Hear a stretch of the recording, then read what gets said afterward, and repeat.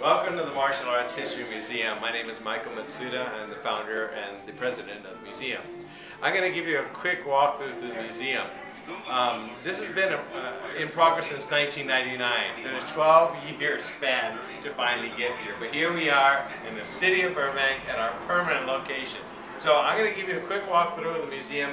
We're still a work in progress, okay? So there's a lot of stuff still missing, but we're almost there. We're almost there. So anyway, this is the entrance area here. Uh, as you can see, this is the uh, replica like of the Great Wall of China. So this is what's built here, and beautifully designed by Bill here. And uh, this is going in here, and then we have uh, a beautiful terracotta soldier uh, created by uh, Paul Weed.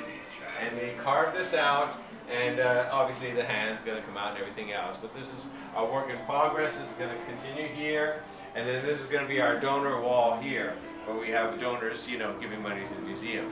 So that's just the quick entrance of the museum. Okay, come with me a little further. Now, as we go in here, we've decided to divide the museum up into different countries. Uh, China, Japan, Korea, uh, the Philippines, uh, Hawaiian Lua, and uh, Thailand. Okay, so this area is our Chinese area, and again, still a work in progress, still got a few more things to be done. But here it tells a little bit of the history of China. So you learn a little bit about the country, population, a little bit about the culture, okay? And then we're talking about a little bit about Kung Fu and how it applied here, and then a little bit about one of the popular tales about Bodhidharma. And then on here is going to be our large screen here. And this is going to be a touch screen, and as you touch it, you can sponsor it.